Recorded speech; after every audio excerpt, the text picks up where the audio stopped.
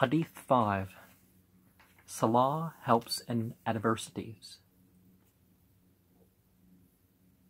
Hoseifa, God be pleased with him, says that whenever the messenger of God, divine contact upon him and wholeness, happened to face any difficulty, he would at once resort to the contact prayers. An Hadifata Allah kana Rasulullah sallallahu alayhi wasallam idha hazabuhum run fazi'a illa salat. Oh, I should have. It's salah. You know, I, I should. Oh, Allah. Um, you know, the, the two dots. I should have made it pronounce it as a T. Um, but this is narrated. Um, Akrajahu Ahmed, Abu Dawood, Ibn Jarir, and his Adar Mansur. Salah is a great rahmah of Allah. To resort to salah at the time of worry is to hasten towards His rahmah, and when Allah's rahmah comes to the rescue, there can remain no trace of any worry. There are many traditions concerning this practice of our Nabi sallallahu alaihi wasallam. Similarly, was the practice of his Sahaba who followed him in the minutest detail. Abu al-Darda, uh, anhu, says, Whenever a strong wind blew, Rasulullah wasallam would immediately rush to the masjid and would not leave until the wind had subsisted, had subsided. Similarly, at the time of solar or lunar eclipse, Rasulullah wasallam would at once start offering salah. Suhaib radiallahu anhu was informed by Rasulullah wasallam that all the previous Anbiya of Allah, peace be upon them all, used to resort to Salah in all difficulties. And, and we find in the Bible and other such, the word for prayer isn't just, well, you know, isn't just, you know, you say or think something that you want to say or think. There's more to it than that. Ibn Abbas, radiallahu anhu, was once on a journey. On his way, he got the news of the death of his son. He got down from his camel and offered two rakat of Salah. Praying in Tashahud for a long time, he recited, Inna lillahi wa inna ilayhi raji'un, and said, I have done what Allah has ordered us to do, and recited the Quran, the verse. Wasta'inu bisabre wa salate wa innam واستعين بالصبر والصلاة وإنها لكبيرة إلا الخاشعين Seek Allah's help with patience and with the ritual prayer. See Surah 2, 40, uh, well, Surah 2, 45, 8, 45. Another similar story is narrated about him. He was on a journey when he received the news about the death of his brother Qutham. He descended from his camel by the roadside and performed two raka'ah of salah and kept praying in tashahud for a long time. After finishing his salah, he rode his camel, reciting the following verse of the Holy Quran.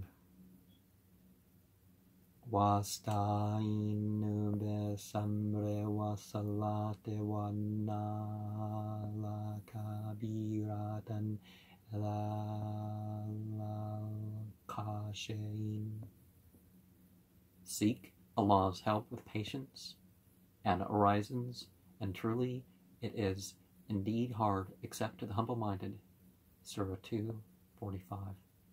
There's yet another story about him on hearing of the death of the wife of Rasulullah sallallahu alaihi wasallam, he fell down prostrate When someone asked him the reason, he said, Our dear Nabi sallallahu alayhi wasallam has enjoined on us to prostrate this law whenever calamity befell us. What calamity can be greater than the death of Umm al Mu'minin? When Ubadah radiallahu anhu was about to breathe his last, he came he said to the people around him, I prohibit one and all from crying over me.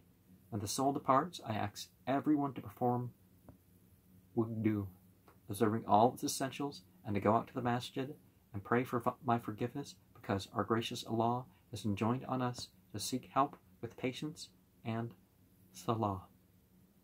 After that, lay me down in the pit of my grave. Nadr Rahmata alayh narrates, Once it became very dark during the day in Medina. I hurriedly went to Anas, anhu, to ask him if he had ever experienced similar conditions during the lifetime of our Nabi, wasallam. He said to me, Ma Abdullah, during those blessed days, whenever the wind blew strong, we would hurry to the masjid, lest it should be the approach of the Qiyamah.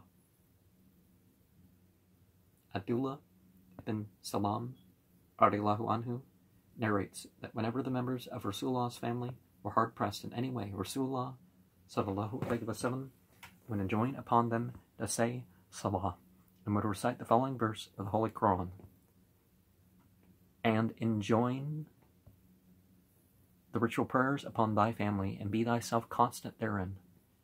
We shall not ask, uh, we shall, uh, we ask not of thee provide sustenance. We provide it for thee, and the hereafter is for the righteous. Surah 28, 132. Wa Wamralaka besalate wastabir aliyala ta. Let me start that over. Wamralaka besalate wastabir aliyala nasaluka rizqu nahnu narzuquka walaqibatu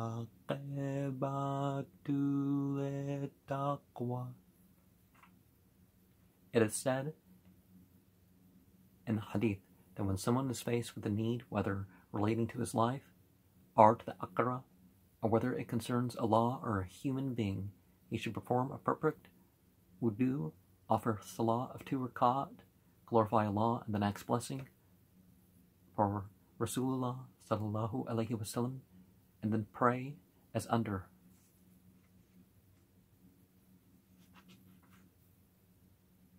La La ilaha illallahu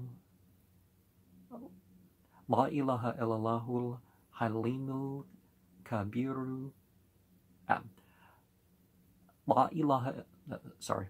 Uh, La ilaha illallahul halimul karimul subhanallahi rabbil arshil arshim alhamdulillahi rabbil alamina as'aluka maujibate rahmatika wa a'da'imma magfiratika wal ganimatu min kulli birrin wa salamata min ithmi la tadali dhanban illa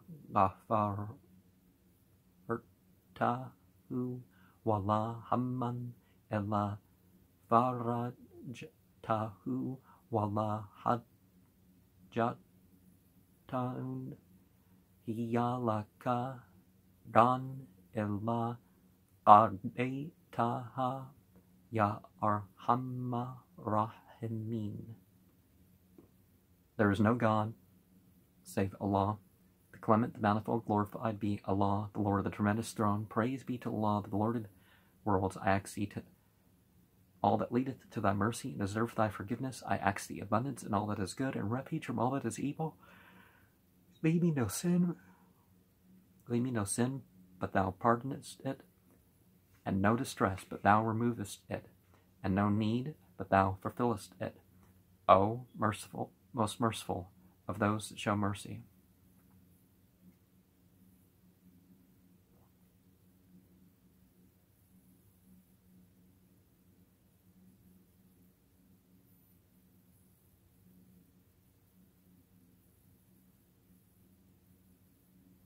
I'm not seeing the word. Qa'itaha ya Arhamma. I'm seeing. Okay. Um, the transliteration seems to be off. Wahab ibn Munabba writes, Have your needs fulfilled by Allah through Salah. In the good old days, if a calamity befell the people, they would hurry towards Salah. It is said that in Kufa there was a porter who was well known for his honesty. People trusted him with their valuables and their money, which carried which carried from one place to another. Once he was on his usual trip when a person met him in the way and asked him about his destination. When the porter gave him the required information, he said, I am also bound for the same destination. If I could walk, I would have accompanied you on foot. Will you kindly give me a lift on your mule for one dinar?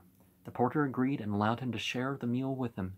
They came to a crossing on the way. The person said, Now which road will you take? The main road, of course, replied the porter. The person said, No, brother, we should go by the other road, which is a shortcut, and there is plenty of grass and route to feed the animal. The porter said, I have never been on this path. The person remarked, But I have traveled by this route quite often. The porter believed him and put the animal on that path. After some distance, the path ended in a terrifying forest, where a large number of dead bodies were lying about. All of a sudden, the person jumped down from the mule and took out his knife with intent of killing the porter.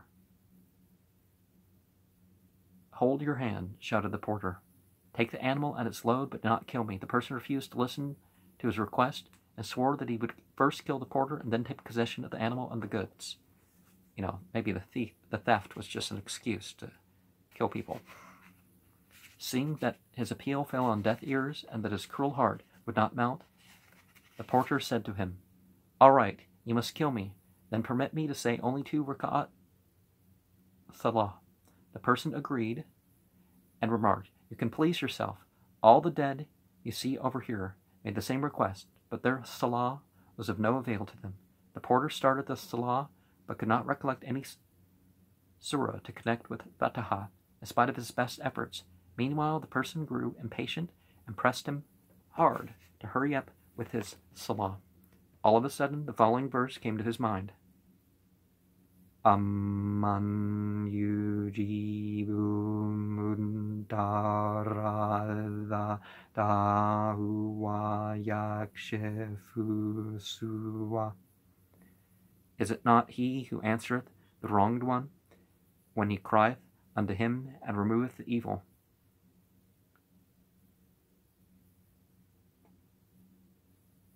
An-Naml 2762? It's 8 at 62, but An-Naml's 27, right? Or am I thinking? Anam. Um, the porter was reciting this verse, and tears came up in his eyes, while a horseman suddenly appeared on the scene.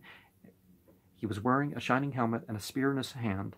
He pierced the body of the pitiless rogue with his spear and killed him. Then and there, a flame of fire rose from the spot where the dead body fell. The porter fell down prostrate and thanked Allah. After finishing his salah, he ran towards the horseman and requested him to disclose his identity.